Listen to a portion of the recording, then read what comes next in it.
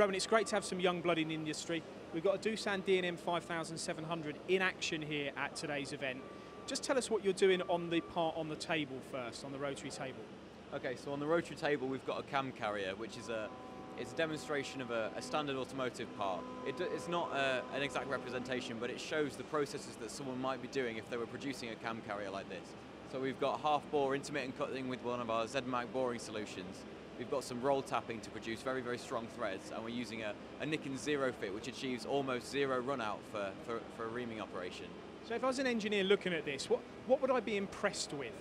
Well, this machine has a has a five-axis rotary table, obviously. So we're doing five five-sided machining, which allows us to to index to all five sides of the part and do reaming operations and boring operations, and it maintains you.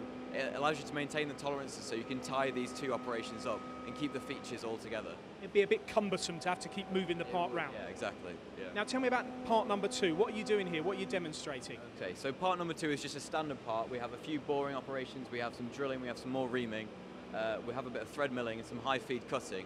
We also have some trochoidal milling. This is just uh, a huge range of steel cutting uh, processes that we are trying to show Nikken tooling with. So we have multi-locks, we have major dreams, we have slim chucks. We've got every kind of Nikken tooling we offer on this on this part, and we're trying to show that. And you're achieving what you're achieving with this as a, as a result of the combination of the Doosan machine from Mills CNC and the auxiliary equipment like the tooling. Yeah, definitely. With the face and taper Doosan spindle, we've, we've been able to achieve uh, higher cutting speeds and feeds in these steel parts than we would have been able to with maybe a standard taper tooling. And what are they? What are those feeds and speeds? Okay, so for the high feed face milling, we're achieving 7 meters a minute, which is a, a 0.8 feed per tooth, 180 meters a minute in EN1A steel with a high feed uh, cutting edge. For high feed for trochoidal milling, we're taking a, a 25 millimeter depth with I think maybe a 3 mil step over at 2,000 mil a minute. So as a machinist, I'm going to come here and watch this. I'm going to be impressed by that, aren't I? Uh, yeah, I would think so. But what about the third part? Tell me a little bit about what that is, and again, maybe some of the features that you're trying to get across here. Okay, so the third part is a, is a high feed tool, which is a, a collaboration between Kyocera and Nikken, where we were trying to show high, uh, high productivity steel machining using this Doosan platform as the main base, as a solid machine to start trying to increase your speeds and feeds and increase your metal removal rate. Tell me a little bit more about that and your knowledge of the Doosan machine. You talk about the build and the speed. For you, is it doing everything that you need it to do? And could you do what you're doing without a machine of this quality and stability? I've got to say, the, the Doosan machine bed is absolutely huge. Without this, without a machine of this size, I wouldn't be able to cut as many demos as I am at the moment.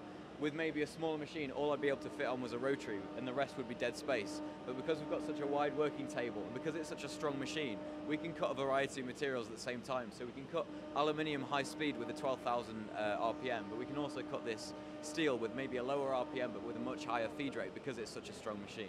And managing your path to production, the control is important. And we've talked a lot about the easy operation package. What's your experience on that from Doosan? Well, the Easy Operation package is like an add-on to the FANUC control.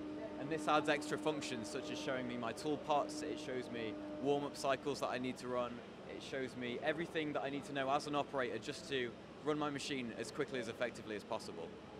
Rowan, if you chose to venture into a machine shop environment and got involved in the procurement of machine tools, would this be on your list or high up your list or even maybe top the Doosan machine? I think definitely this is just a staple of a machine tool that I've seen. We've got some other machine tools that may be high speed, they may be a different kind of size, but this is an absolutely stable machine that I would I would love to run. Basically, it's it's my baby.